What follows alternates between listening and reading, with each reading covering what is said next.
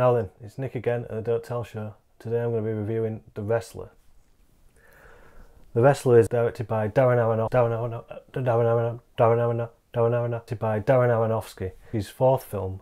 So Aronofsky has been known up to this point for making very flash, very um, in-your-face sort of films, like Pi and Requiem for a Dream, and The Fountain, which wasn't it wasn't as much in your face, but it was it was out there.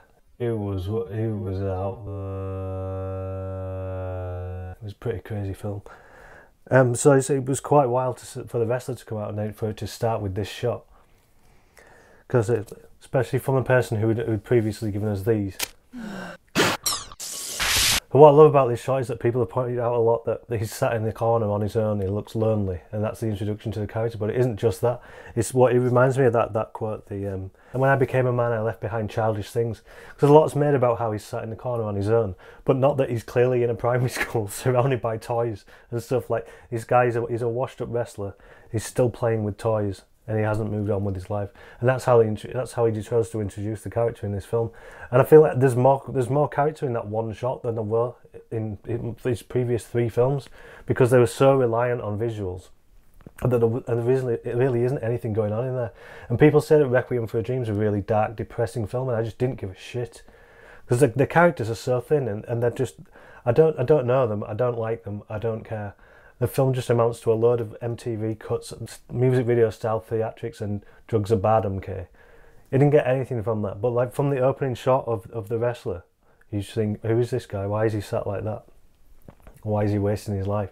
And there's also like the, the realism. For some reason, the realism becomes more because you, because it seems to echo part of Mickey Rourke's life because it's it's about an aging wrestler who's trying to get back into the big time. He's waiting for this big break so he can he can go back to WWE or whatever. I can't remember if they refer to it as that in the film. And Mickey Rourke did that as well. He was really big in the 80s and through the 90s, and then he went off. He went off. He didn't sort of go off the rails, but he went off and became a boxer, and um, he was a good boxer by all accounts. But then he came back to acting, and this was sort of this was his chance to make it back into the big time. I'm not sure if he did actually or not, but he should have if he didn't, because the, the this this is Darren Aronofsky. He's been he's been excited, I guess. I guess he'd entered the film industry. He was doing quite well for himself. He was excited, and he was like, "I want to do everything. I want to do everything all at once." And then, he must have had sort of a period of reflection where where he was like, "No, maybe I don't. Maybe I need to take all of that away, and go back to this raw, this pure sort of cinema where the whole the whole film is centered around this performance and the camera." The camera, I mean, he's, he's not you can sort of look at this and think that the camera isn't doing anything, but it is. Like he he clearly knows what he's doing. He's just not showing you that. He's letting everything else at the front, and the sort of mechanics of it have gone behind the scenes, sort of. So what what you get is, is just Mickey Rourke bearing his heart on screen for the whole film, and it's pretty amazing.